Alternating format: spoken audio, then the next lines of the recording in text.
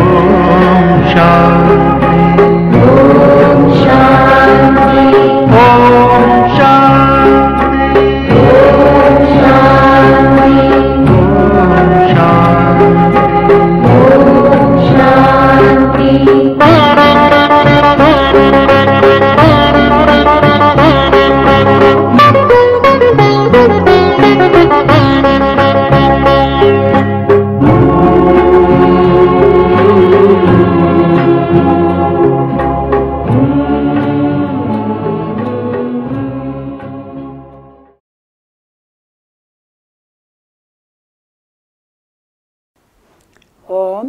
சாந்தி.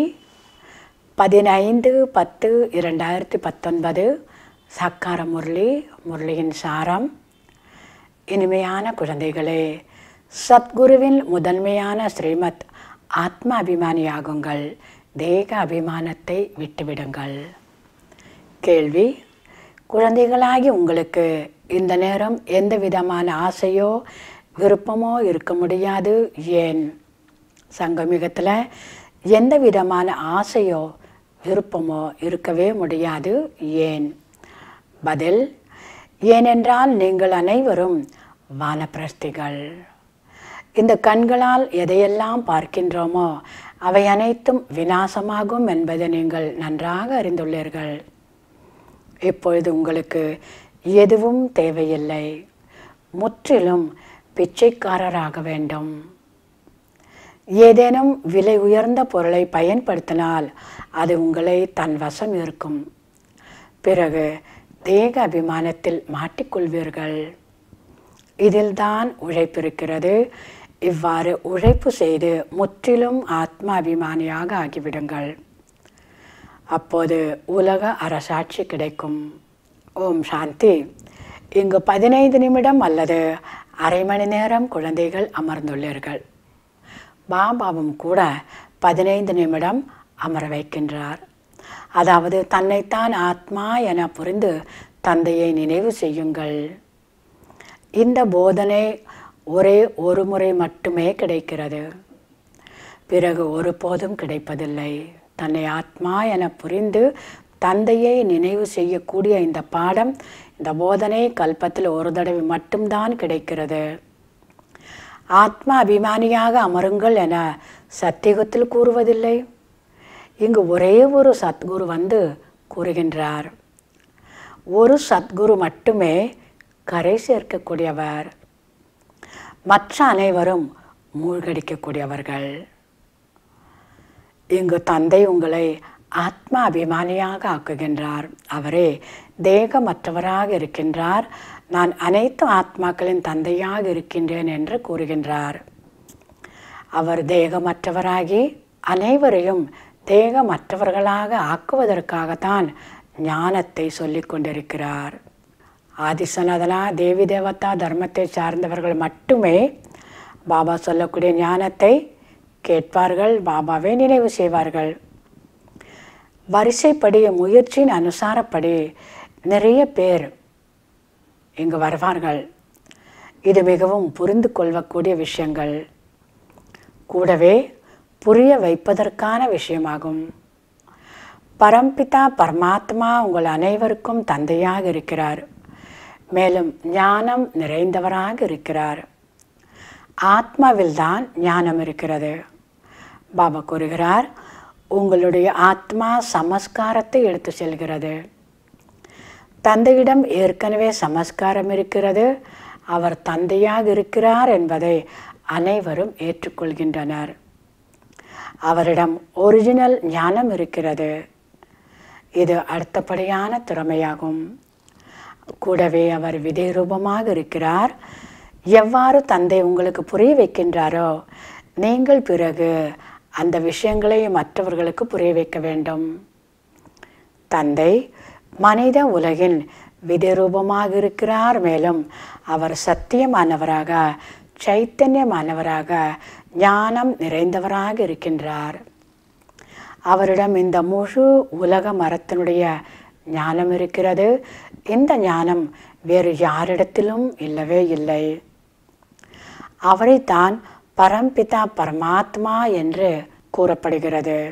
பாபா சொல்கிறார் எவ்வாறு மாமரத்தை படைப்பவர் அந்த மரத்தின் விதை என கூறலாம். அந்த விதை மரத்தின் தந்தையாகும். ஆனாலும் அது ஜடமானது. ஒருவேளை அந்த விதை சைத்தன்யமாக இருந்தால் என் மூலமாக முழு மரமும் எவ்வாறு வளர்ந்தது என தெரிந்திருக்கும்.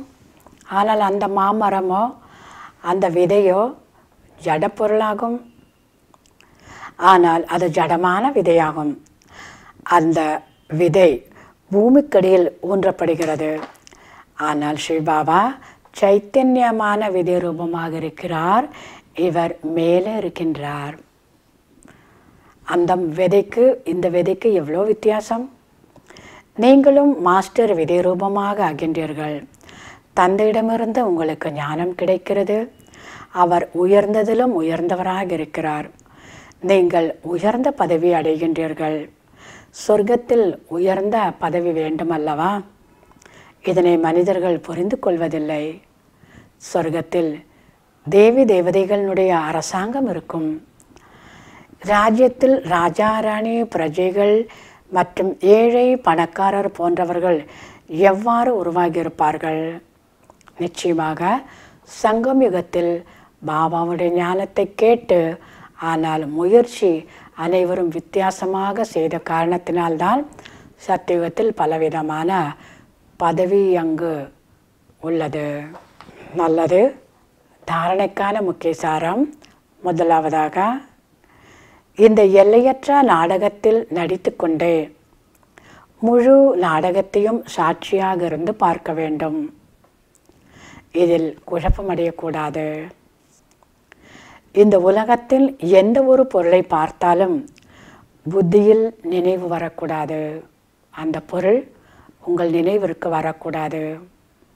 இரண்டாவதாக தன்னுடைய அசுர சுபாவத்தை மாற்றிக்கொண்டு தெய்வீக சுபாவத்தை தாரணை செய்ய வேண்டும்.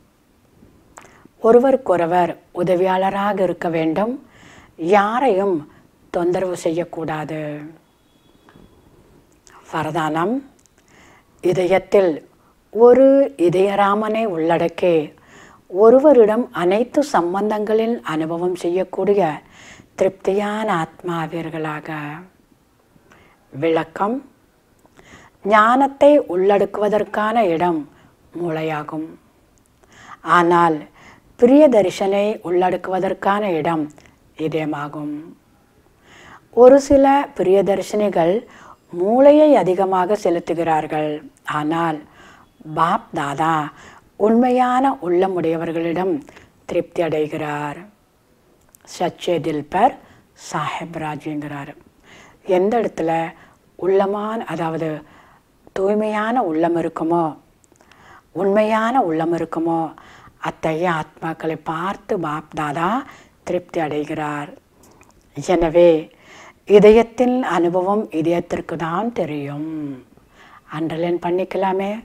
அந்த இதயத்தினுடைய அனுபவம் இதயத்திற்கு தான் தெரியும். இதயராமனுக்கு தான் தெரியும். யார் இதயபூர்வமாக சேவை செய்கிறார்களோ அல்லது நினைவு செய்கிறார்களோ அவர்களுக்கு உழைப்பு குறைவாகவும் திருப்தி அதிகமாகவும் கிடைக்கிறது. இதயபூர்வமாக செய்பவர்கள் எப்பொழுதும் திருப்தியினுடைய ஒரு பாடலை பாடுவார்கள். திருப்தியினுடைய கீதம் பாடுவார்கள். அவர்களுக்கு காலத்திற்கேற்ப ஒருவரிடமிருந்து அனைத்து சம்பந்தங்களின் உணர்வு ஏற்படுகிறது. அந்த நேரத்தில் அவர் கிடைச்சிருக்காரு. இந்த நேரத்தில் அந்த ஒருத்தர் மூலமாக பல சம்பந்தங்களினுடைய அந்த ரசனை அந்த டேஸ்ட்டு அந்த அனுபவமாகும். ஸ்லோகன் அமிர்த வேலை தெளிவான புத்தியுடையவராகி அமர்ந்தீர்கள் என்றால் சேவைக்கான புது புத விதிகள் டச் ஆகும் அமிர்த வேளையில் உங்கள் புத்தி ரொம்ப தெளிவாக வச்சுக்கிட்டு நீங்கள் அமர்ந்தீர்கள் என்றால் சேவைக்கான புதுமையான விதிகள் டச் ஆகும் நல்லது. இனிமையிலும் இனிமையான ஐயாறு வருடங்களாக காணாமற் போய் மீண்டும் கண்டெடுக்கப்பட்ட செல்ல குழந்தைகளுக்கு தாய் தந்தை பாப்தாதாவின் அன்பு நினைவுகள் மற்றும் காலை வணக்கம். ஆன்மீக குழந்தைகளுக்கு ஆன்மீக தந்தையின் நமஸ்காரம். ஆன்மீக தந்தைக்கு ஆன்மீக குழந்தைகளின் நமஸ்காரம். ஓம் சாந்தி.